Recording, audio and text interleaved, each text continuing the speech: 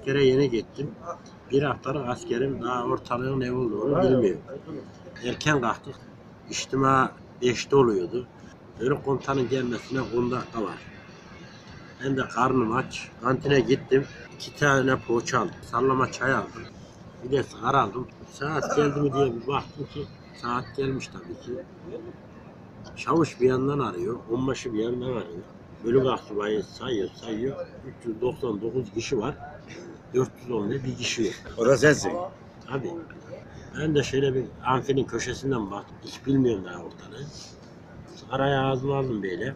Sigarayı yaktım. Çayı da elime aldım. İçtimaya doğru gidiyor.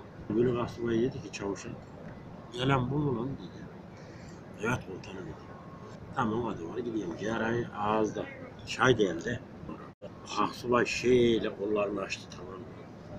Dizlerini yere çöktü. Bana karşı. Senin dedi yarağını yerim dedi. Tekten gelmişsin amına koyayım dedi asker. Amına koyayım dedim onlar asker mi hani?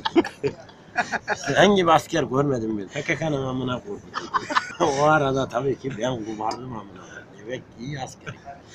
Ondan sonra yerime tam gidiyordum. Gel lan buraya dedi ya. Ne emret komutanım kaldı. Ne bir şey koyayım. Bana bir döşendi baba. Ağız, burun,